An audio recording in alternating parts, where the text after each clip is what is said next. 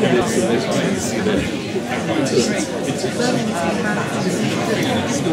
so first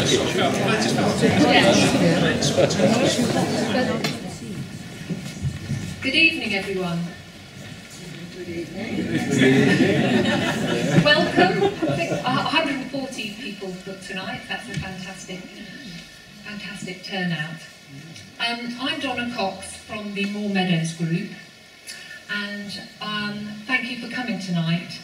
And I'm not very good at doing public speaking, I have to say. So I've got some notes, so I might have to refer to them. But thank you for coming tonight to hear Cathy Horsley from the Bumblebee Conservation Trust. She's here tonight to talk about bees, bumblebees in particular, and what we can do to help with their conservation. Before I hand over to Cathy, I'd just like to say a few words about the Moor Meadows Group, for those of you who may not be familiar with it. In 2015, a, um, a community initiative was formed by a small number of local people whose aim was to support Dartmoor Meadows. The group um, was started to conserve, restore and help to um, create and manage new meadows within the landscape of the Dartmoor National Park. An email meadows exchange was set up which has currently has 80 active members, plus a series of meadow open days. Some meadow owners have um, an established wildflower meadows, while others have got a pasture that they'd like to convert. Yet others have just got a wildflower patch in their garden. Apart from putting in a pond, a wildflower meadow is one of the best things you can provide to support wildlife. Insects feed on the flowers, and insect-eating birds such as house martins, swifts and swallows, they feed on the insects. And it's their main food source, actually, the insects in the meadow. For those of you who are interested in creating a meadow, I'm pleased to announce um, that the Moor Meadows Group are organising an event especially for you, um, a Meadow Makers Conference, which is part of the Dartmoor Meadows Festival, which is taking place on the 1st of July at Brimps Farm on Dartmoor. There'll be talks, practical talks about meadow creation and management, and that's on for every scale of garden, or for if you want to create several acres on your land. It's going to cover all. And there are talks about the life to be found in the meadow, on the birds, the bees and the butterflies that depend upon them.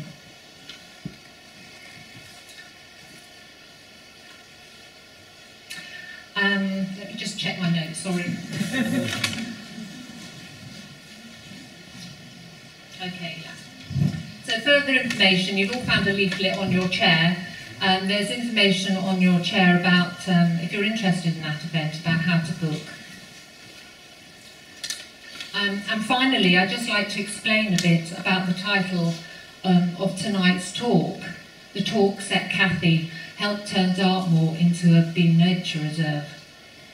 That's a, a big ask, isn't it? And what, and what does it mean?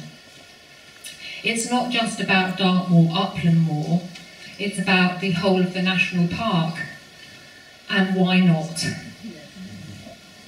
Everybody here tonight knows that bees are in trouble. Many are in decline and some have become extinct. But there is good news because we as individuals can do something on our own patch. We can do something on our own patch.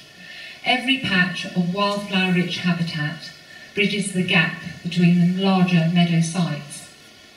So every orchard, garden, whether it's the size of a tablecloth, every allotment, roadside verge and churchyard are all potential link sites. So every bit of meadow, no matter what the scale, can help bring nature back. Thank you. I'll hand you over to Cathy, who will talk about the practicalities.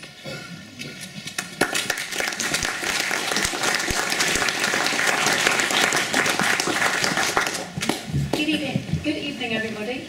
Um, thanks, Donna, for that introduction.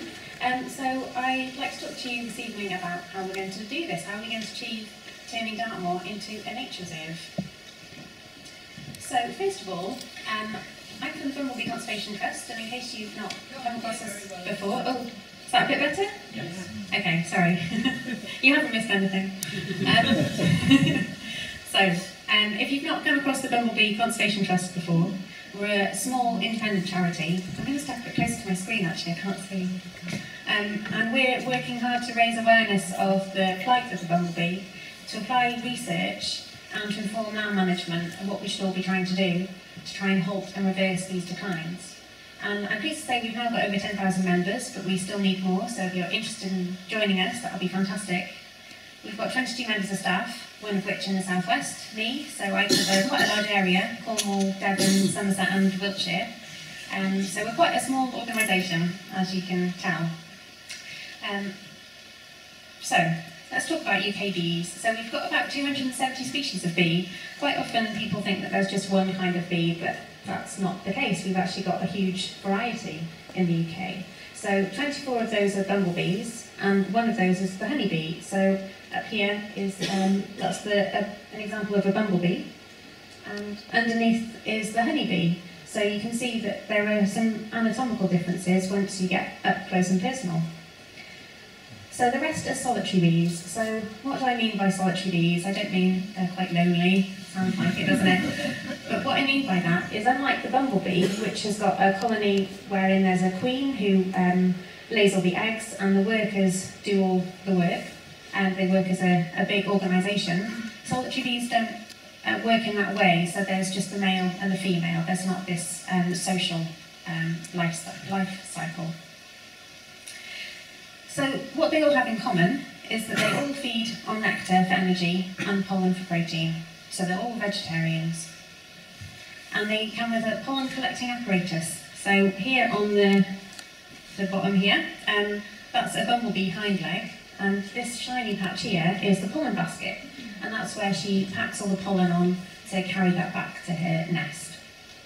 Solitary bees don't have that. I should say the honeybee has got a pollen basket like that as well.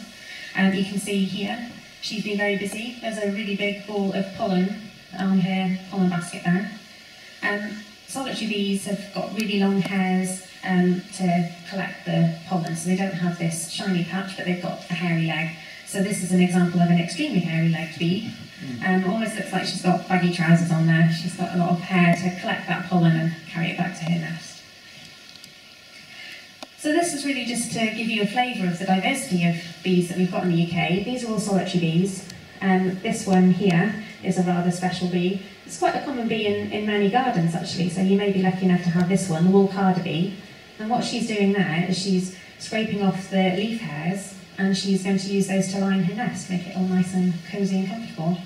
And um, this one, the red mason bee, this is a really important pollinator of many of our fruit crops. And this is again is another common species that you find in your garden. And this fancy chap here, with his long antennae, um, this is a longhorned bee, no prizes for why, it's called that. Um, so you can see there's a really big range of species that we've got in the UK. Um, and this is just to say there's a new field guide out, so if you're interested in finding out a bit more, um, then this is out now and then it talks you through how to identify all the bees that we've got in the UK.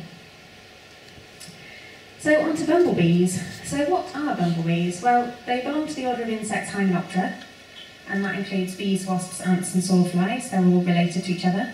And bumblebees belong to the genus Bombus, which is quite a special sounding name, I think. There are about 250 species around the world, and this map here shows you the distribution of them.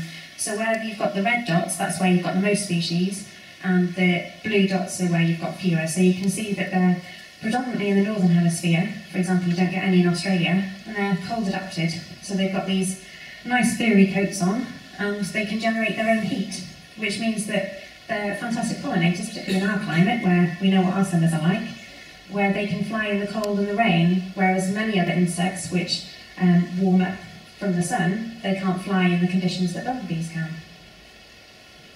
So this diagram here um, shows you the temperature of bumblebee that's flying.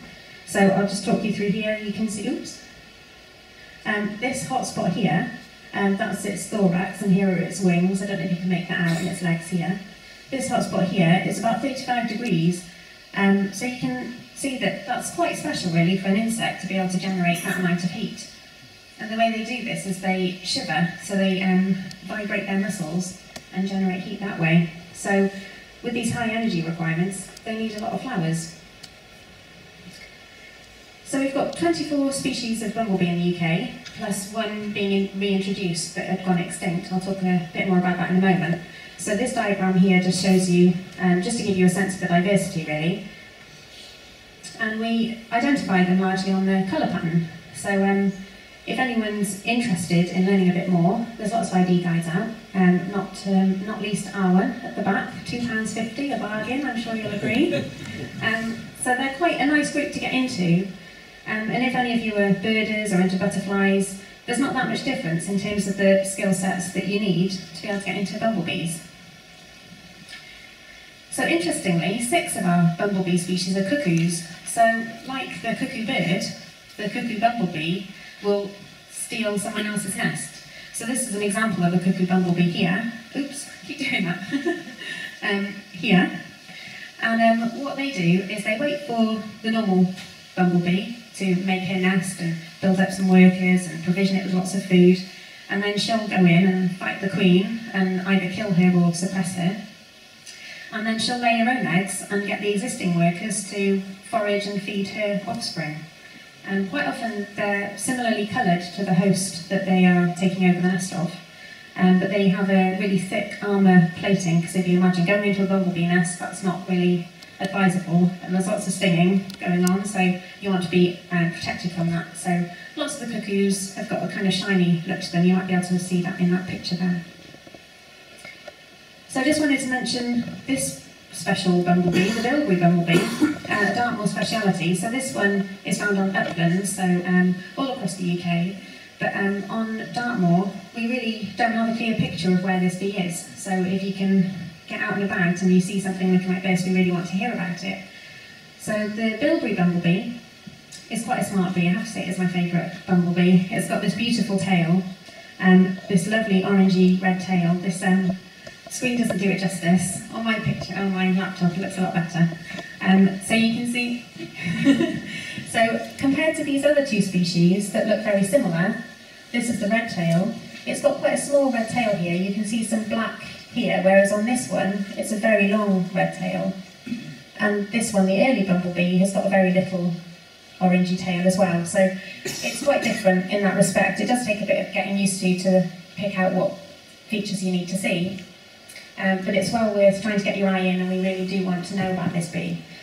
So um, I don't know if any of you are into recording wildlife already, but there are a number of ways you can submit your records, but iRecord is one or iSpot you might want to think about.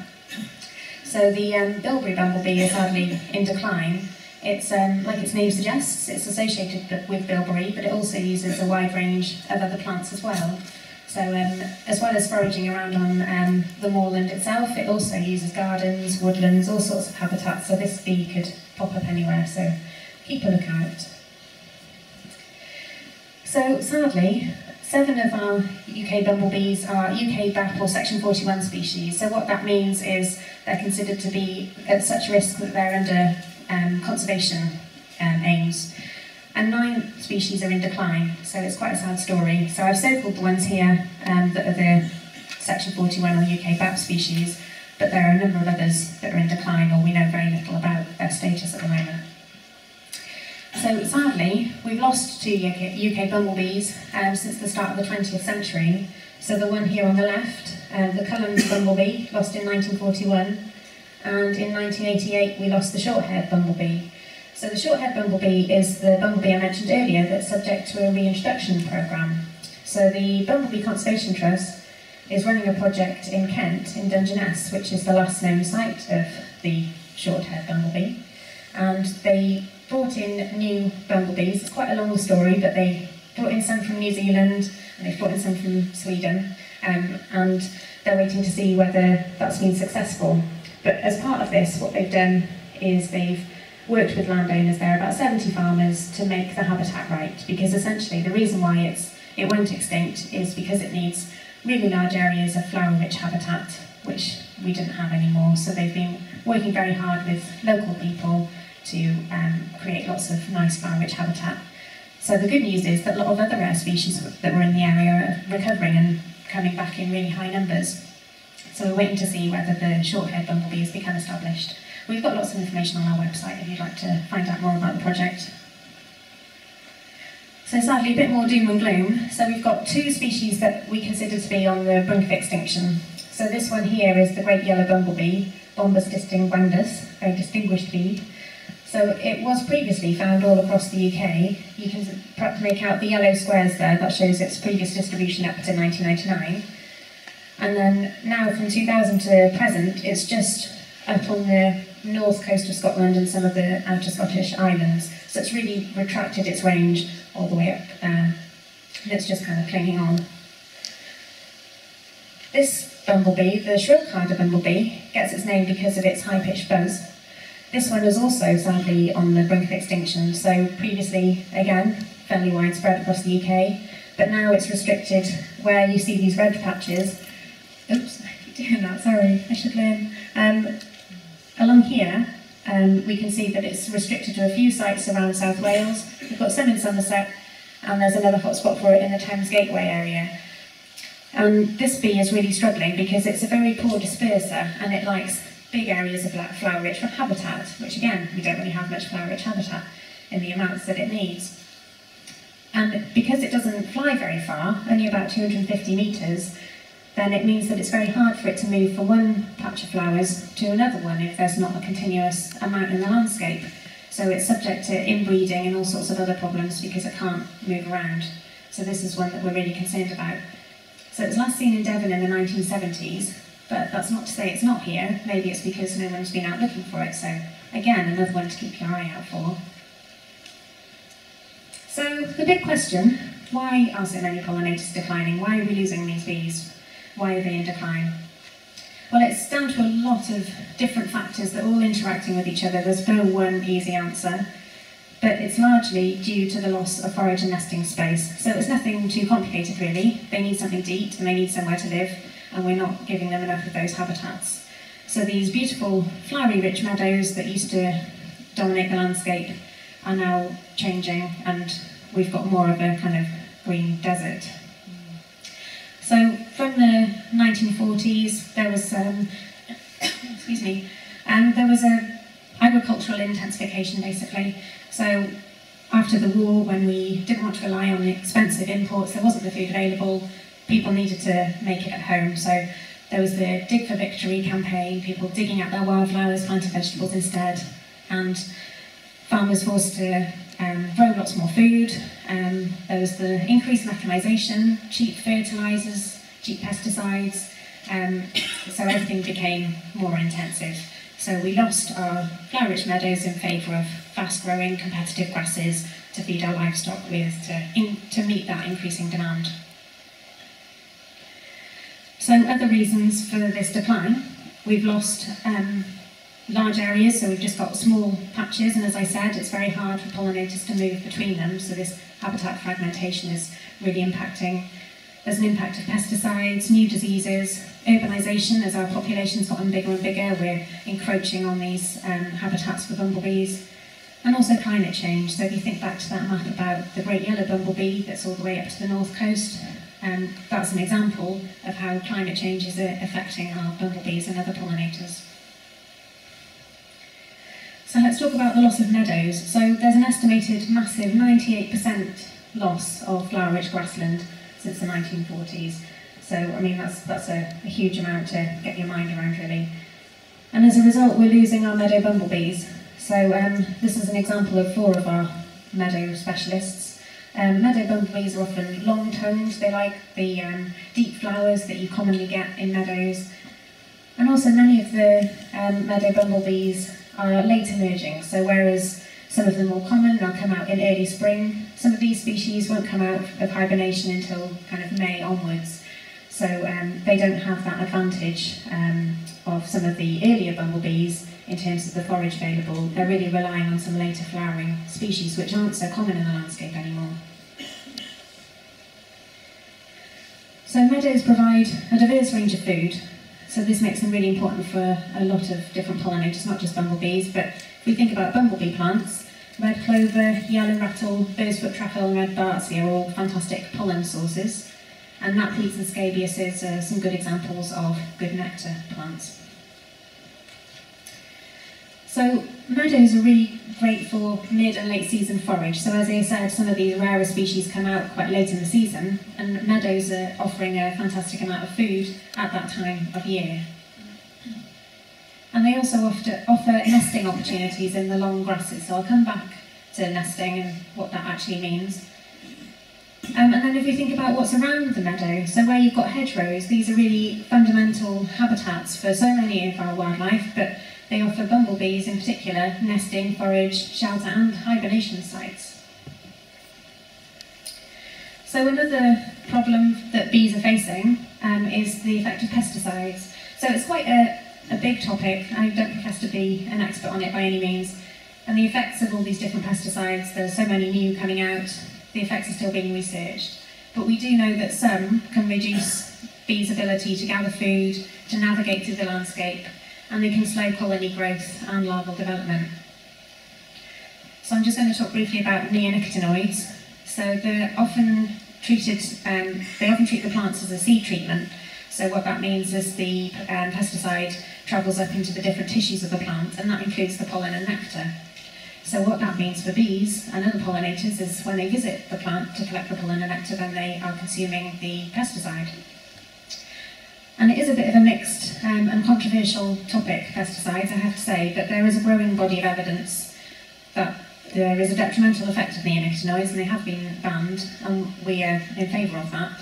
Um, because they do impact on non-target organisms, not just the herbivores that they're intended to affect. So there's a, a huge range of different studies out there, but I've just taken this one here as an example where they fed bumblebees the neonicotinoids, the amount that they would naturally find in, well, not naturally, sorry, that they find in the wild, and if they did find them to affect their brain function, and uh, the colonies did perform poorly.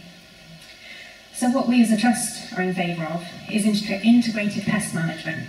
So what that means is that you should try all other options first, and then use pesticides as a last resort. So um, opt for the least environmentally damaging option first, um, but pesticides are an important part of the way we farm. If we want to be able to feed everybody, then we understand that pesticides need to be used, but with consideration and um, responsibility and as a last resort. So, should we be worried about this decline of pollinators? Well, the short answer is yes, yes we should. So they've got a big commercial value, so they're estimated at 600 million per year in the UK, so that's not a small amount. They increase crop quality and quantity, and we know that wild plants depend on them, and there are all sorts of other organisms that then depend on those wild plants, so indirectly depending on pollinators. And they've got an intrinsic value, they're important in their own right, and we should be thinking about how we can look after them. And these pictures here just demonstrate just a, a few of the things that bumblebees and other pollinators are pollinating for us. So our crops, food, and um, excuse me, and clover pasture for livestock, so indirectly they're important for our, our meat industry as well. So this picture I felt really is just telling of, of what the situation is. So this is showing a gentleman in China, in the Sichuan province, pollinating apple trees. So he's got a feather duster on the end of that long stick. He's climbed up the tree to do the pollinating, and that's because there aren't the bees. So this is quite a, a sad story, and it's something that's maybe just around the corner for us if we don't do something about it. We'll be forced to pollinate our own crops. And I mean, it's just not possible to do the job of a bee and to pollinate all the wild plants. Who's going to pay for someone to go and pollinate those? We really do rely on our wild pollinators. They're offering a free service, uh, as it were, and we need to be looking after them and not let this happen. So, now I've talked about the doom and gloom, what can we do to change this? How can we stop this from happening? So how are we going to turn Dartmoor into a, a nature reserve for bees? So to understand how we're going to do that, first of all, we need to think about what bees need. So their needs are quite simple really. They need food, and by that I mean they need something from March all the way through to October. So they want something to last the whole season. So it's no good just having something in summer. We need something in the spring and late summer as well.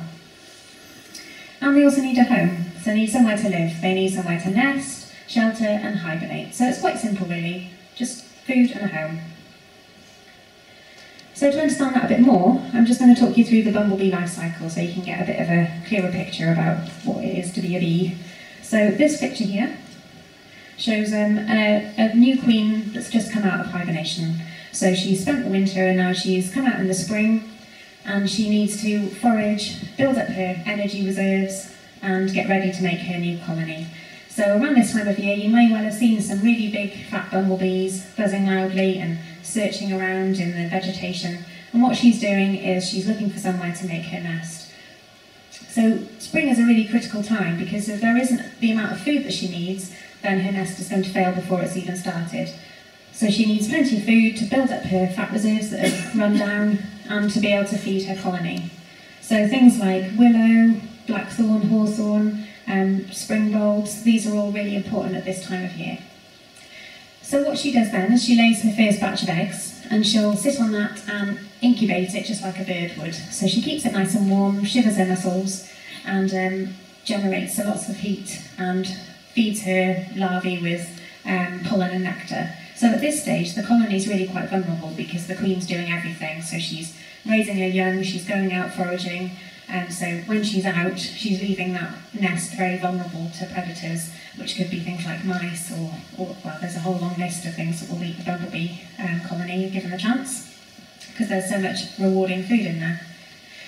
So after a few weeks, then the first workers will emerge, and at this point, the queen will now stay in the nest, and she'll just um, lay eggs from this point on. Um, and the workers will be the ones who go out foraging, collecting the pollen and nectar and bringing that back to the nest doing the general sort of housework, the general house maintenance, and defending the nest. So gradually the numbers will build up over time, and if the nest is successful, then the um, new um, generation of sexuals will be produced, so the males and the queens. So if I just go back a step here, so this shows you inside the nest. So you can see some um, baby bees, um, looking nothing like the adult as you can see, just very grub-like. And um, you can see some pots here that contain the um, nectar. So she'll gather the nectar and put it in a little honey pot. And there's clumps of pollen there as well that the bees are feeding on. Um, this shows you the um, inside of a nest. And um, here's a, a, foraging bumblebee. You can see this very nice um, full pollen load on its leg. So if the, like I say, if the nest is successful, then it will produce males and queens. If it isn't, and many of them aren't, then that nest is a failure and there isn't a new generation that's produced for the next year. So you can, you can start to see here why it's so important that there's food throughout the whole season, because if it doesn't reach the stage of producing the new males and the queens, then that nest has failed. So once they have mated, the males will die and the queens will go off and um, build up their energy reserves because she's getting ready to hibernate. So where they decide to hibernate is generally somewhere nice and cool that's not going to be disturbed. So this here shows um, inside a flower pot actually. Um, you probably can't quite see, but there's a little hibernating bumblebee in there. So they may choose um, north-facing banks, for example, or under trees, or at the bottom of hedgerows, somewhere that they can dig down into the soil just a few inches and spend the winter. So once the spring comes, then the whole cycle starts again and this new queen will head off and make her nest. So in the UK, bumblebees are annual, so this just takes one year. So the workers will only live for a few weeks and um, the queen will live a maximum of that time um, of the year if um, she's successful. But having said that, because of climate change, we are seeing some changes. So the buff-tailed bumblebee is one of our common species, and it's now being seen to be active over the winter even, um, which is quite a change. So um, it just shows you just how things are, are changing. So as I said, they need pollen for protein and nectar for sugars, and they want a continuous supply of food. So um, I'm going to talk a bit more about that now, um, and I'm going to ask you to think of it as being like a, offering a bumblebee a three-course meal. So you're offering them a starter, so that's your spring food, your main course, that's your midsummer, and your dessert, that's your late summer. And these are just some examples of nice bumblebee habitats, or any pollinator habitat really. You've got um, orchards, um, a flower-rich nectar margin here on farmland, um, a woodland ride with lots of lovely bluebells there, and of course your meadow. So let's think about the early forage, the starter, the first course. So orchards are fantastic. You've got this big bloom of blossom at that time of year um, offering an abundant food source. Hedgerows, great for things like blackthorn and hawthorn and willows. These are all really key species in the spring. And hedge banks, which Devon is famous for, has got a huge diversity of different plants that benefit all sorts of pollinators, um, things like red campion, ground ivy, there's a long list really. But they, these are all essential for giving bumblebees that, that um, early start to be able to establish their colony. So on to the mid course, the mid course, sorry, the main course in midsummer. This is where your meadows come in. So flower-rich meadows and pastures are really key to supporting bumblebees at this time of year. So um, your typical meadow species like your clovers and your vetches, trefoils, um, knapweeds, um, some of the wild carrots, for example, these are all great at this time of year in the midsummer for supporting bumblebees. And then on to dessert. What do bumblebees like to eat for dessert? Well, in the late summer, um, things like scabiouses, knapweeds, thistles, um, and dead nettle, white dead nettle, brilliant plant all year round actually, um, not just in the late summer, also in the spring. And it's often considered to be a weedy species. You might find it on the you know edge of your um, roads or paths or whatever, but it's a fantastic plant for bumblebees. I'm trying to grow it in my greenhouse to get it established in my garden, and I can't get it to grow. You find it everywhere else, it's so weedy, but um, it's a brilliant source of food for bees. So glass, grassland areas, edges, um, so like I was saying, edges of tracks and things, banks, ditches and hedgerows, these are all key in the late summer. And if you don't have all of these stages through the year, then you don't support that bumblebee colony and it won't be successful. You won't have it again the next year.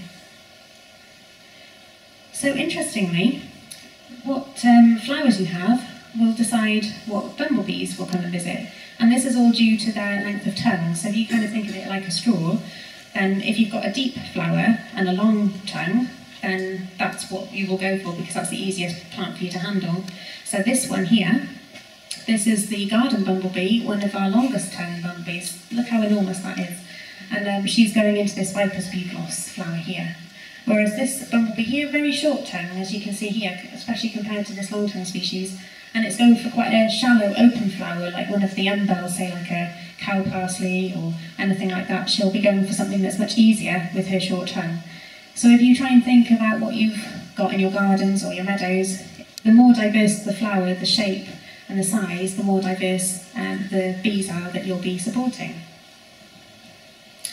But having said that, some of them are quite sneaky. So nectar robbing, this little cheeky chap is um, has cut a hole in the bottom of this honeysuckle flower and it's um, stuck its tongue in to sneakily get the nectar without going in the legitimate way that the flower wants it to, to, to get it pollinated.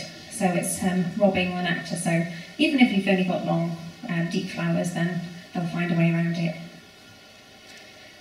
So that's the food. We know what they want to eat. So what about where they want to live? So many bumblebees um, have an association with small mammals. So I, I googled um, small mammals to get a nice picture and I thought it was very cute.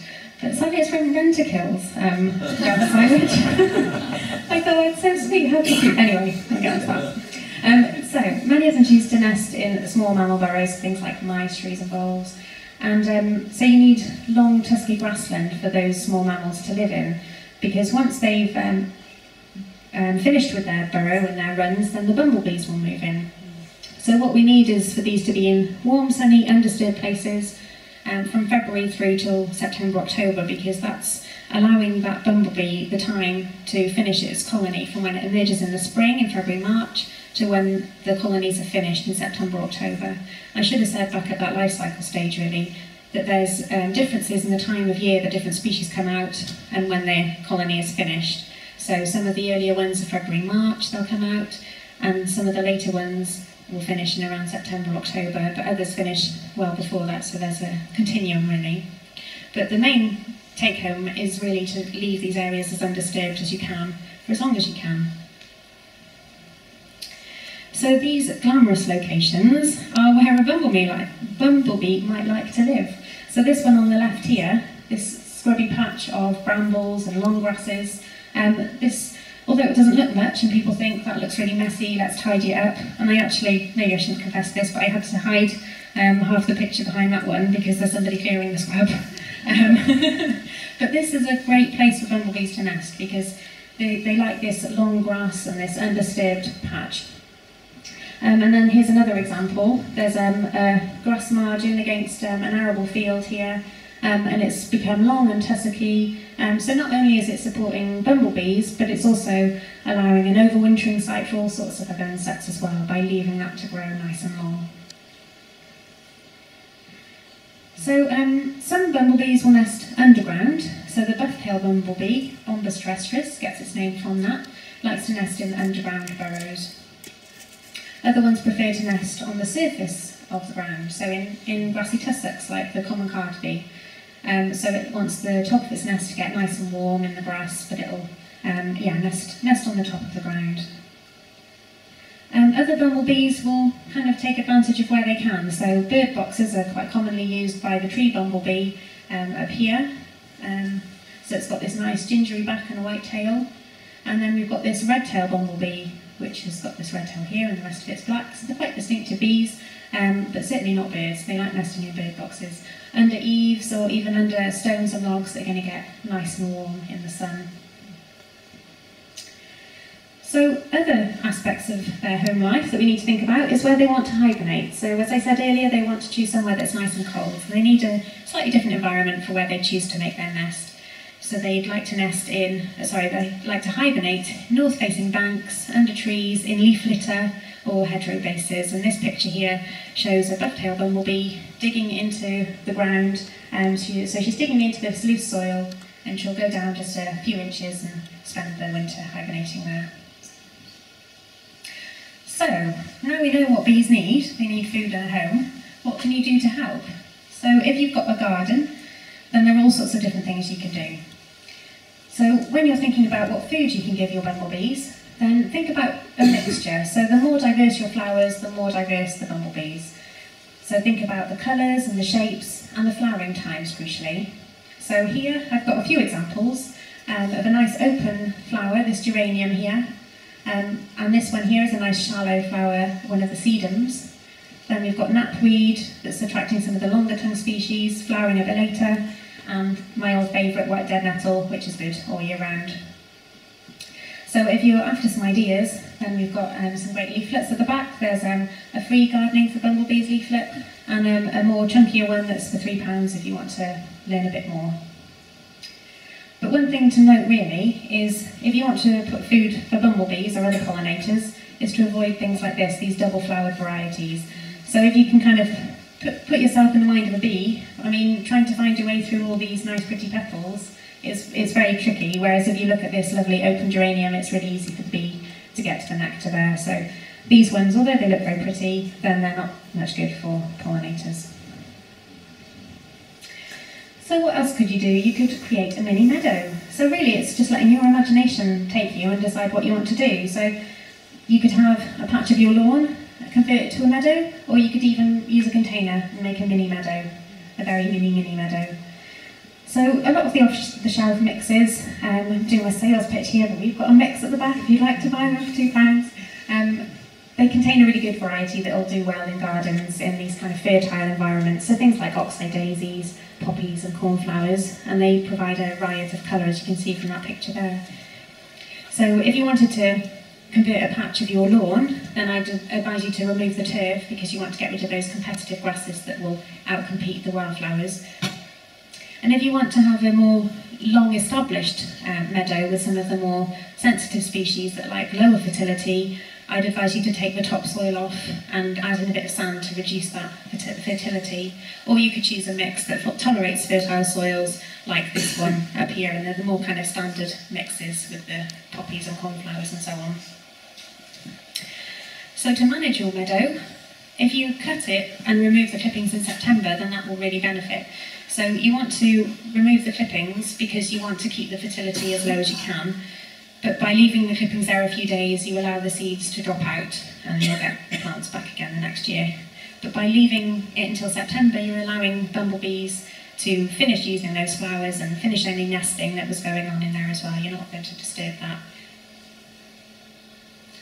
So if you'd like to know a bit more about how bee friendly your garden is, we've got a Bee Kind tool on our website. So you can plug in what species you've got and it will tell you how good they are for bumblebees. And based on what you've got already, then there'll be a, a series of suggestions of other plants you might like to consider. And you can also um, upload it to be included in our map. So we're trying to see how bee friendly um, people's gardens are around the UK. So do get involved if you can. So essentially, take-home messages, avoid this, green desert. So um, this is a lovely um, fake grass lawn. Um, I can't really see any flowers in there. So the opposite of that.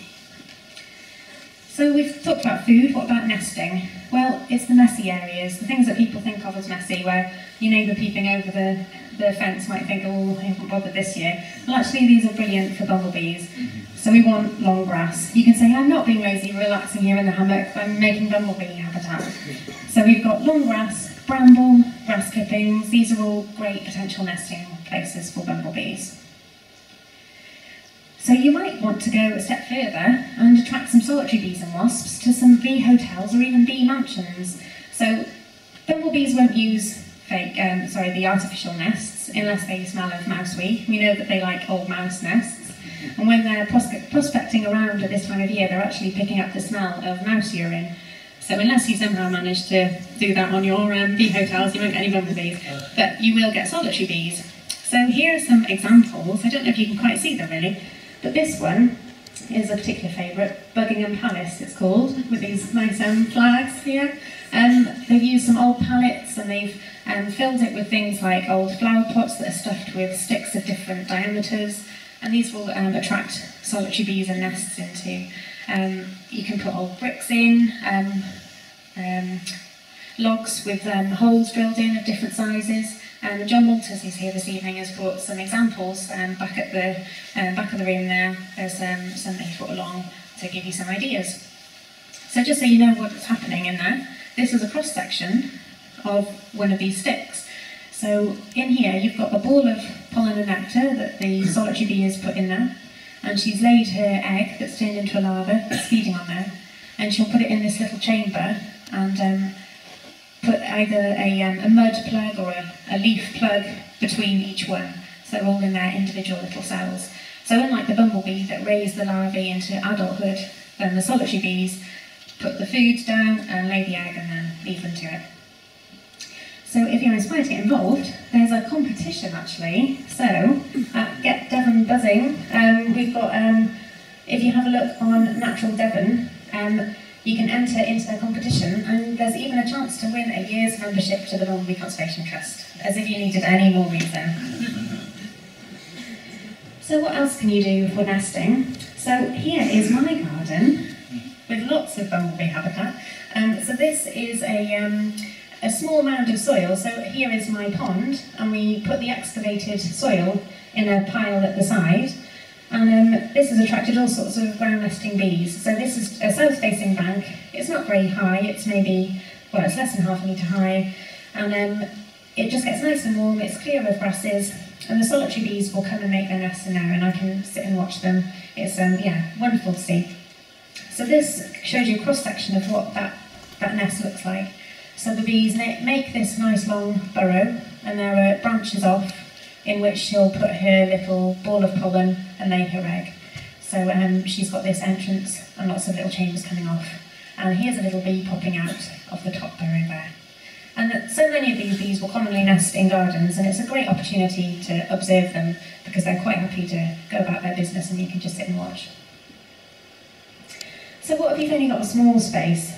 Well, you could create a bee cafe or a bee drive-through, or a fly-through, I should say, so this, I think, is pretty magnificent. These um, hanging baskets, um, window boxes. You don't need a lot of space to be able to do something positive for bees. So um, again, let your imagination go. You could use a wildflower mix of annuals. You could have herbs. Um, if you've got space for pots, um, could, herbs are always a great one. The, if you leave them long enough to flower, and even things like tomatoes or other fruits. Um, they're fantastic sources of food for bumblebees. So there's no excuse. Everybody can do something. So what about if you've got a bit more space? If you've got a meadow. So as we know, bum, um, bumblebee flowers um, in meadows are a really important source of food. So if you are converting a, a pasture, then um, I'd advise you to join the Moor Meadows group. There's lots of help available. And um, a crucial thing is to think about choosing locally sourced seeds. So these seeds are going to do better because they're more adapted to the local conditions and you're also not um, introducing new varieties, new strains that um, might outcompete native species. So I'm just going to talk really quickly about meadow management and how that can benefit bumblebees. So obviously there's lots of ways to manage your meadow, but if you want to encourage bumblebees and encourage those flowers, then we want to have a low fertility because that encourages the wildflowers over the competitive grasses, which like the high nutrients. So if you think about your um, sort of typical, um, so let's say a dairy cow field where it's a lot of um, bright green grass and not much else, that's because they like these really high fertile conditions. There's been um, lots of fertiliser spread, produces lots of food for the cows. In a wildflower meadow, then we want the opposite because we want to encourage those wildflowers which like the low nutrients and suppress those competitive grasses that like the high nutrients. So cutting and grazing is important. So although you wouldn't necessarily think immediately that grazing and cutting is good for flowering, actually it's an important part because it stops those competitive grasses from taking over. So we need to have that regular cutting and removing those clippings to keep that, those nutrients down. But the key thing is about when you graze or when you cut, and I'll come to that in a moment. So we'd recommend avoid chemical fertilisers, minimum use of manure, um, again, to encourage the wildflowers over those competitive grasses. So flowering is really key because we want to give food for the bumblebees. So ideally, um, light or rotational or even no summer grazing, um, because you're allowing those flowers the opportunity to flower. And then perhaps consider a rotational late cut. So, for example, in September, if you can leave, um, if you've got more than one field, if you can leave a field a bit later, or even a strip between within a field, this provides late forage, which is really crucial, but also it maintains the diversity because it allows later flowering species that opportunity to flower and set seed. And we know that some bumblebees um, continue their nest up until September, October, so by leaving it later, you're allowing those later nesters that opportunity to finish what they are doing. So importantly, we need to all work together because habitat connectivity is really fundamental as to whether these bees can survive. So some of these rarer bees that we were talking about need really big areas of flower-rich habitat, and to be able to achieve that, we all need to be working together. By providing stepping stones and corridors through the landscape, we can all contribute to that. It's important for pollinators to be able to move around the landscape because they need to disperse to find food, but also to find mates because they get inbred if they can only stay in one patch. So we really need to be thinking all together as a whole. So hedgerows are a really important way that pollinators can move through the landscape. So we can think of them as bee highways. So as we know, they provide food, shelter, hibernation and nesting sites, and they also allow bees to navigate through the landscape using the landmarks to, because um, we know from research that bees will follow the edge of hedge, hedges to um, move through the landscape. So what kind of management should we be thinking about if we have hedgerows? Well, try and avoid something like this really, a bit severe. So by cutting more infrequently, so no more than one year in two, one year in three, or even less frequently if you've got hedges of slow-growing species, means that you get more flowers and also more fruits that benefit birds and a whole host of other wildlife. By having a continuous hedgerow, it allows those bees to navigate through and to move through. So by gapping up with native species, you're also providing more food. And um, it's also recommended that you cut incrementally rather than back to the same point each time. It's been found through research that you get more flowering that way, and it's and you get the thicker, denser hedgerow. So how else can you help? So I'm going to do another plug. You could join the Bumblebee Conservation Trust. So your support really does make a difference and it funds our projects and allows us to be on the ground and do this work. There are lots of other ways you can help us. So by becoming a volunteer for the Trust, um, people who are interested in understanding a bit more about how to identify bumblebees and maybe you want to know what's on your patch and monitor year on year, you can get involved in our national monitoring scheme. So by walking a set route once a month, so it's not a big commitment, once a month from March through to October, then you um, record all the bumblebees that you see on your walk and you send that to us. And then year on year we can see how bumblebees are changing. Because some of the species that we think of as being common, they may well not be, but we just don't have that information. So by contributing to this, we can understand what the picture is and target our conservation efforts. Um, we also need some help with people at events, fundraising, whatever you like. We don't have a large number of active volunteers um, in Devon. We have a few bee walkers, which is brilliant, but to stop poor Stephen, wherever Stephen is hiding, and um, being dragged to all these events, then if someone else would like to get involved and help out as well, then that would be really appreciated. So I just wanted to end on my project, just to tell you a bit about West Country Buzz. So I've got some leaflets at the back there, please do help yourself. So my project is to work with landowners, and I'm trying to support pollinator-friendly land management. So this is through a variety of ways. So one-to-one -one land management, going out and about on farms, around the southwest and working with farmers to see how they can tweak their management to think about pollinators as well. So can they change their grazing or their um, cutting and can they leave a, a patch that's a bit messy and all these kinds of things. Working with them on an individual basis so we can really tailor it to work with them because farms are businesses, they need to earn money and we need to be able to work pollinators into a part of that where it's not a burden but it's something that they can do. So I'm also working to raise awareness of pollinator needs and also trying to get more people out and about recording bumblebees in Devon because there's really um, a large number of areas that we just don't have that data for.